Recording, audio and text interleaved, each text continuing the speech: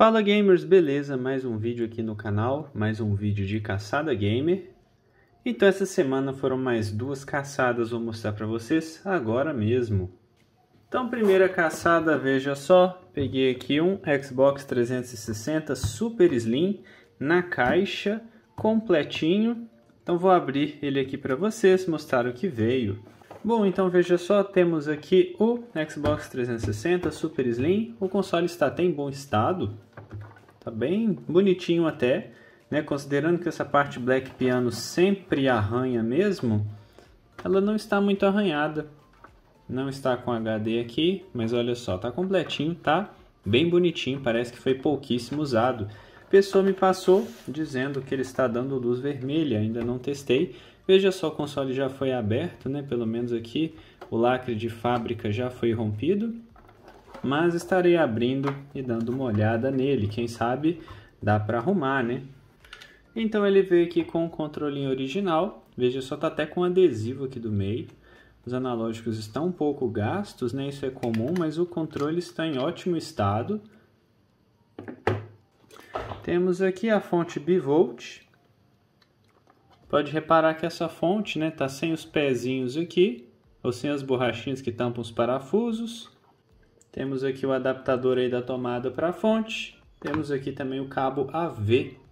E ele veio aqui com esse joguinho original, Destiny. Então, tá aí, Xbox 360 da caçada, ainda não testei. Estarei fazendo o teste dele. Estarei fazendo toda a higienização também, né, igual sempre faço.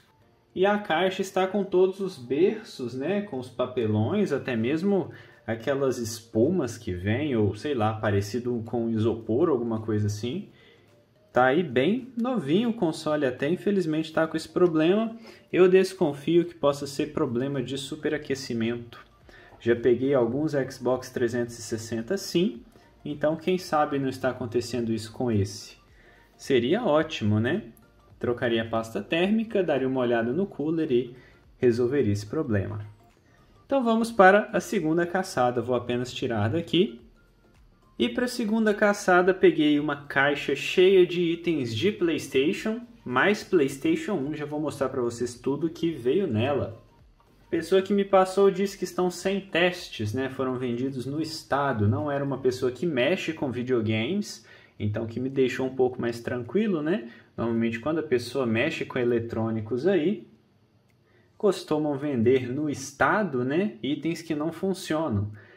Vendendo no estado, as pessoas acabam comprando. Se falar que não funciona, que está com defeito, dificulta um pouco mais. Então, pelo fato de não ter sido uma pessoa que mexe com isso, eu até fiquei mais tranquilo. Então, resolvi pegar. Primeiro temos aqui uma fonte original do PS1, Tá bem sujinho aqui, ainda não fiz a limpeza né, desses itens. Se funcionar vai ser ótimo. Então agora aqui temos alguns controles. Temos aqui primeiramente um controlinho de Playstation 1, pode ver o fio aqui está aberto, deve estar tá rompido aqui com certeza, né? Aparenta ser um controle paralelo, é um controle paralelo, sentindo aqui os botões já consigo ver, os analógicos também. Normalmente os originais também, os botões aqui são esmaltados, então não sai a tinta. Mais um controlinho paralelo aqui. Esse aqui, né, sem os analógicos, controle cinza. Apesar de ser paralelo, é bem bonito. Temos aqui mais um controle e galera, esse controle aqui tá com cara de ser original, porque os botões estão muito macios. Veja só, o cabo também tá mais robusto e tudo, né? Tá realmente com cara de ser original. Lembrando mais uma vez, ainda não testei nada. Então temos aqui quarto controle, mais um controlinho aí paralelo. Então temos aqui mais um controle, esse daqui DualShock. Esse daqui é original, mais uma vez, né, sentindo os botões aqui consigo saber. E ele é série, série A, o que é ótimo. Os controles da série A são bem mais tranquilos de arrumar quando comparados aos das outras séries, né? principalmente da série H, que eu considero mais difícil. Mais um controle aqui, esse aqui é um controlinho paralelo. E esses controles paralelos, eles nunca estão perdidos, né? Sempre dá para reaproveitar alguma coisa, como por exemplo o cabo dá para reaproveitar. Olha essas borrachinhas dos analógicos. Se por um acaso ele tiver estragado, né? se estiver funcionando, melhor ainda. Então, mais um controle aí. Esses itens sempre têm utilidade. Próximo, um controlinho aí, mais um original, dessa vez de PlayStation 2. Esse daqui é modelo A também, o que é ótimo.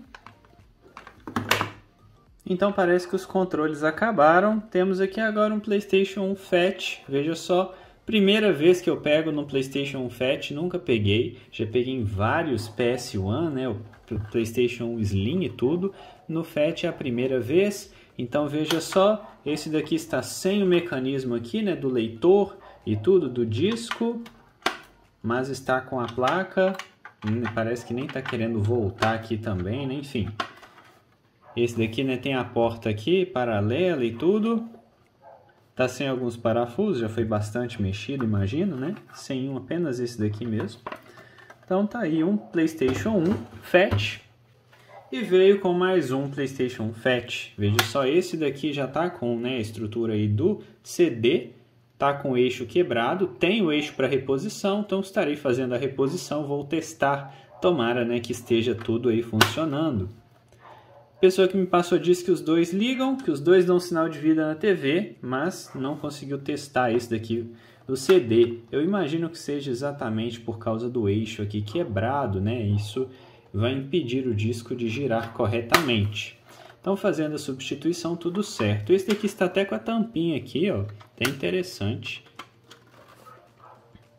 Esse está com três parafusos faltando aí mas de qualquer forma valeu demais, né? Não tem um PlayStation 1 Fat, quem sabe consigo arrumar. De qualquer forma, vocês já sabem, não tem vídeo desmontando ele aqui no canal, então em breve sairá um vídeo desmontando o PlayStation 1 Fat.